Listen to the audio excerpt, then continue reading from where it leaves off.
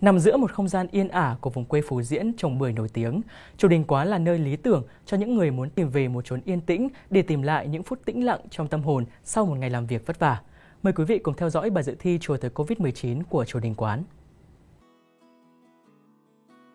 Đình Quán là ngôi chùa cổ nằm trên địa bàn phường Phú Diễn, quận Bắc Từ Liêm, Hà Nội. Chùa có tên cũ là Bà Bông Tự, sau đổi thành Phúc Quang Tự, được xây theo kiểu chữ đinh, nhà tổ và nhà khách ở cạnh phía Bắc.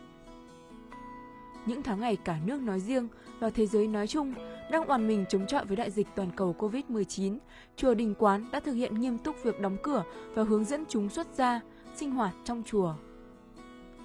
Bất cứ ai cũng có thể nhìn thấy thật rõ và thấy thật sâu rằng chỉ có chính niệm quay về bên trong mới là nguồn năng lượng tích cực để mỗi chúng ta không còn lo sợ và đánh mất niềm an vui khi thiên tai, dịch bệnh ập đến.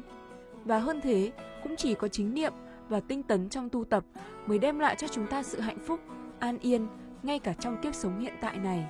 Bởi vậy, mỗi ngày tu học là mỗi ngày những bông hoa tuệ giác trong vườn tâm trở nên tươi đẹp hơn. Với ý nghĩa cao cả ấy, trong đại dịch Covid-19, vì không được tập trung đông người nên nhà chùa không tổ chức được các khóa tu cho Phật tử.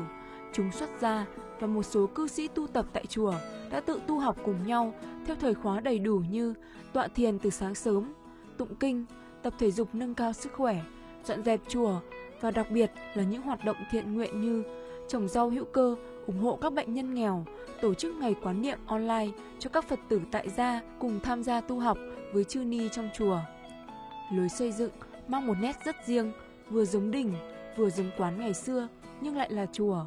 Khi thấy mệt mỏi và cả những lúc bình an, lên chùa để thấy cuộc đời còn nhiều nghĩa lý, cõi lòng trong sáng như nước giếng khơi.